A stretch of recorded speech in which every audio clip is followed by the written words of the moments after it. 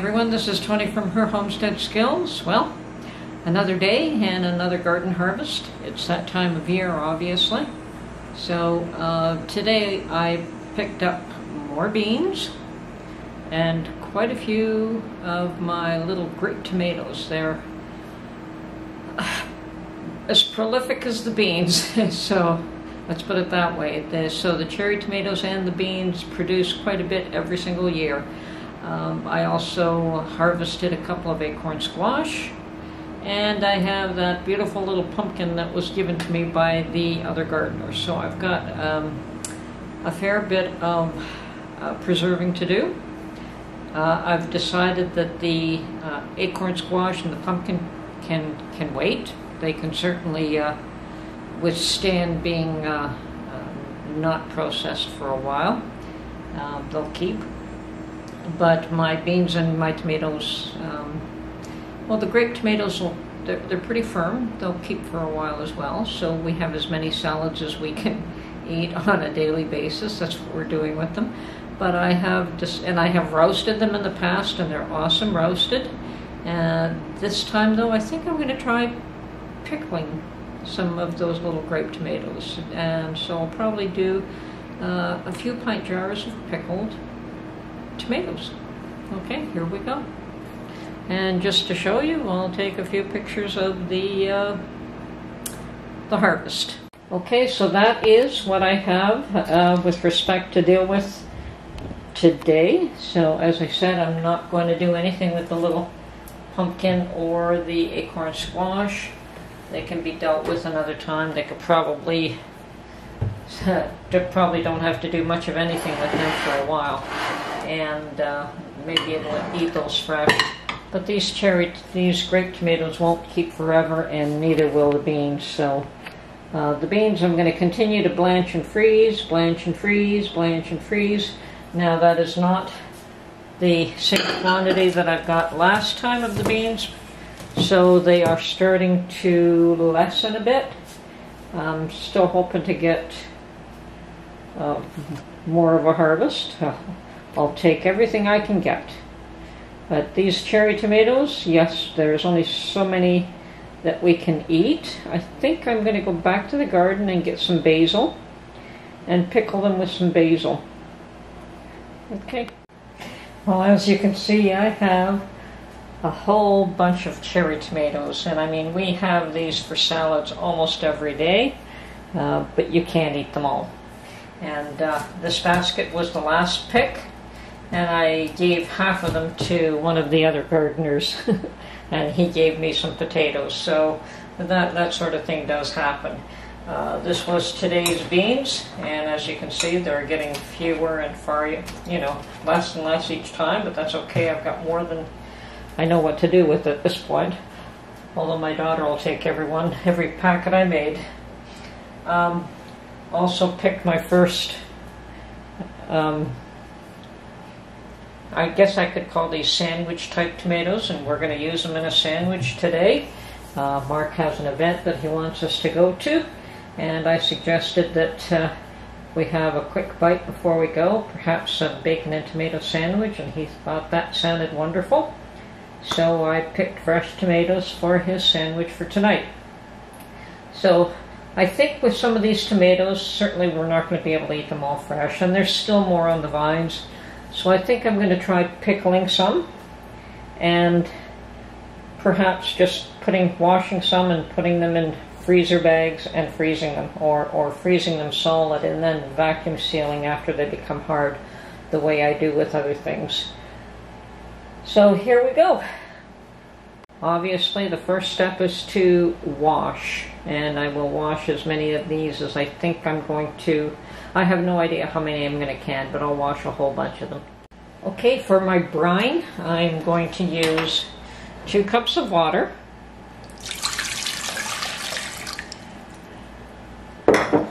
Two cups of pickling vinegar.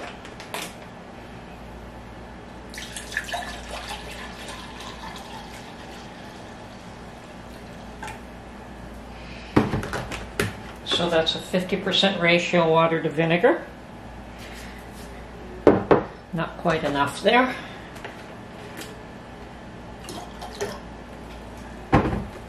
Yes, better.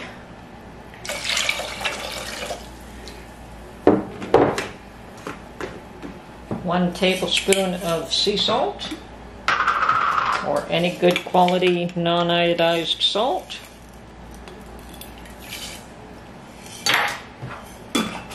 And one third cup of sugar.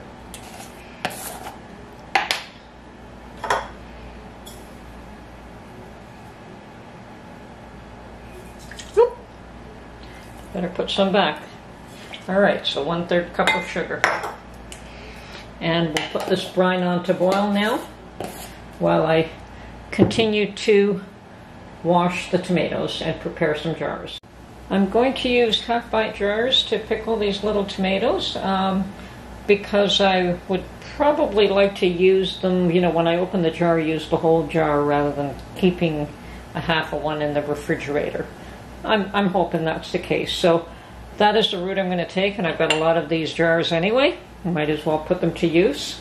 So now, okay, I have determined that there's no way I'm going to pickle all these tomatoes. Quite a number of them will probably just be frozen. So I'm going to start off with, oh, probably about seven little jars, and yeah, the rest will be frozen. And if I like the way they turn out, I have plenty of time to make a whole bunch more. So, uh, tomato and basil are a very nice combination, and I have some basil that I grew last year and dried myself. So I'll put a small amount of basil in each jar, as well as one clove of garlic. Okay, I have added my garlic was fairly large, so it wasn't exactly one clove, but it is the equivalent of uh, a reasonable uh, clove of garlic, not an overly large one. And I have checked my measuring spoons, and yeah, one quarter teaspoon of this is adequate. This that is all I'm adding. The brine does have salt, so there will be a little bit of salt in each one of these with the brine. Now, I'm going to pick the smaller tomatoes, and I've taken a skewer let me just make sure that the camera catches this. I've taken a skewer and I'm going to skewer right through the center of each tomatoes. Now others say just, you know, do a, a pinprick at the top or something, but I think just skewering right through will allow the brine to uh, mix to actually get in, get inside the tomato and that's what we want. Because I'm trying to pick the smaller ones because these are also small jars. The larger ones, I'm, as I say, I can put on. Ouch! I can freeze. We don't want my blood.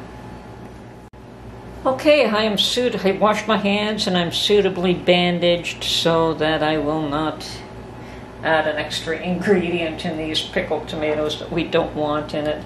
So keep your fingers out of the way, Tony. Okay. Yes, the skewer is sharp, but that's what you want to make the job easy. Now, it looks like I'm getting a substantial amount of tomatoes in each jar.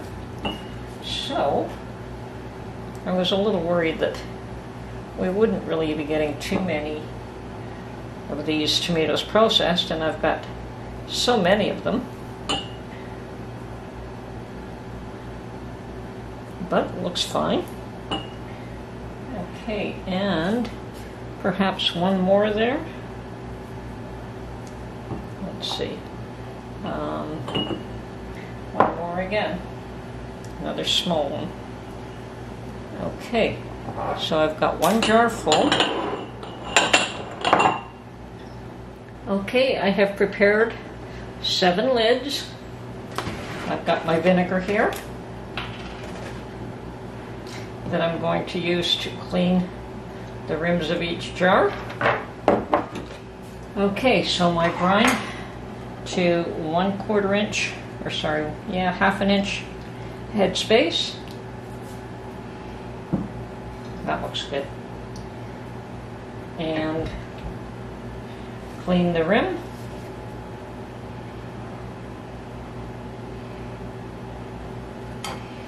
And a new lid.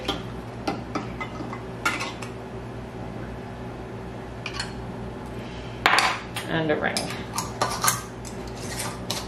So, this is ready for water bath processing and that looks really pretty. I like the way that looks. So this will be water bath processed for 10 minutes. Now I'm going to get all of these seven jars done and then I'll get back to you. Okay, we have completed the seven little jars and they uh, actually look lovely. Um, so I have taken my, what I use is a water bath canner and I have uh, a plate at the bottom. And these seven jars will fit in just perfectly in this um, pot as you can see. I'm going to see if I can show you that. So we have seven in there. I'm going to fill that up with water uh, covering it at least an inch and then we're going to water bath can this after it boils for 10 minutes okay Okay, I'm also going to pour the leftover vinegar in my water bath canner. Okay, and as you can see, I still have a ton of tomatoes left, plus what's in the basket, plus what's still on my vines. So this lot, I'm going to freeze. And I'm going to do the same way I did the beans, as I'm going to put them on a tray. And when they get really good and hard, then I'll probably vacuum seal them and put them in the freezer. That way they still retain their shape. So, and yes, they're still firm, and yes, they'll probably last a few more days, uh, maybe even longer than that, a week or so. Um, unfortunately, there's just so many of them right now that if I don't do something with them, they will go to waste. So, Okay, so I'm just waiting for these to cool now. They've come out of the water bath canner. They were water bath canned for 10 minutes. And uh, if I've never mentioned it in the past, after everything is cooled, the next day you take the rings off. And if everything has sealed nicely, you can wash the jars if need be. And, uh, and most times you probably should give them a good wipe down and uh, once you've taken the rings off, wash your rings, put them away to reuse them. And if jar has not sealed, you can either reprocess it a second time or put it in the fridge and use it immediately. So that is it for my um, pickled grape tomatoes. Well, okay, there's another canning job completed. Uh, some more product for my pantry. Uh, this is Tony from Her Homestead Skills. I hope you enjoyed this video, and we'll catch you on the next one. Have a great day.